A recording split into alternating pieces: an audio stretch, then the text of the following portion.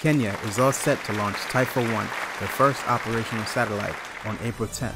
The SpaceX Falcon 9 rocket will carry this satellite into space from the Vandenberg Space Force Base in California. This mission is considered an essential step for Kenya's emerging space economy, showcasing their dedication to scientific innovation. One of the most remarkable aspects of Taifa 1 is that it's fully designed and developed by Kenyan engineers, collaborating with a Bulgarian aerospace manufacturer for testing and manufacturing of parts. This project demonstrates Kenya's commitment to technological advancements.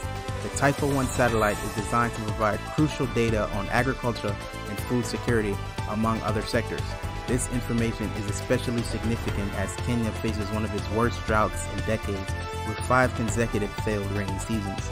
The launch of Taifa 1 adds to the expanding list of African countries pursuing scientific innovation and developing space programs. As of November 2022, more than 50 African satellites have been launched, although none from African soil as of yet. With Kenya's achievement, they join the ranks of Ethiopia, Angola, South Africa, and Sudan, and others in pushing the boundaries of Africa's presence in space.